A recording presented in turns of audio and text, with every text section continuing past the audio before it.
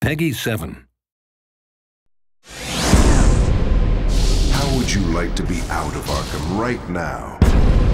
And given a chance to take revenge on Batman?